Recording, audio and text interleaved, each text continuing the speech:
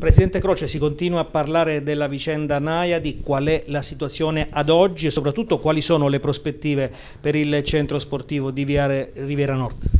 Sì, ormai come è noto a tutti, il eh, Lati che gestiva l'impianto sportivo nel, nell'ultimo periodo ha riconsegnato spontaneamente le chiavi alla Regione Abruzzo che quindi è rientrata in possesso dell'impianto e adesso la Regione Abruzzo dovrà eh, decidere sia come, eh, come, e se riaprire immediatamente per eh, gli, gli atleti agonisti e per le società che fanno campionati a livello nazionale, le due società di pallanuoto e poi soprattutto che è l'argomento più importante, portare a termine l'iter amministrativo per eh, definire il progetto di finanza che è stato presentato qualche mese fa dal, da alcuni imprenditori locali, oppure se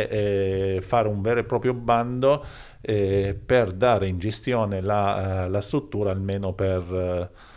una decina d'anni. Tutti, sia i, consiglieri di, di, centrodestra che quelli di centrosinistra, così come quelli del Movimento 5 Stelle, tutti quanti tengono a questa struttura. Eh, eh, tutti vorrebbero che eh, fosse eh, riqualificata eh, e che fosse di nuovo disponibile eh, per tutti. giustamente in questo momento la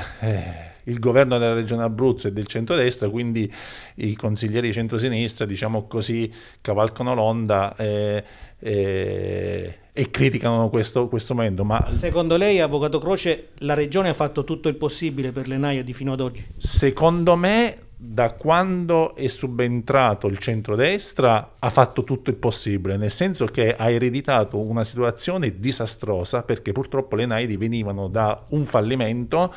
e precedentemente da un concordato preventivo, quindi si trovava in una situazione disastrosa. Quando è subentrata la regione Abruzzo del centrodestra a luglio 2019, diciamo così, a, insomma nell'anno 2019, si è eh, subito adoperata e ha permesso la riapertura eh, dando in gestione acquistati e la riapertura ha dato subito i suoi frutti perché in effetti eh, ha ricominciato a funzionare e ha avuto anche degli utili e tutti, tutti gli atleti hanno potuto eh, frequentare le Naidi. Poi purtroppo il Covid e altre situazioni hanno, hanno di nuovo eh, ribloccato la situazione, ma la realtà è comunque secondo me è un'altra, cioè che l'ENAID ha comunque bisogno di una grande riqualificazione e ristrutturazione. C'è la necessità che intervengano degli imprenditori che possono in qualche modo investire effettivamente sulla struttura per poi eh, permettere una gestione facile eh, per eh, diversi anni, quindi c'è bisogno di un investimento vero e proprio.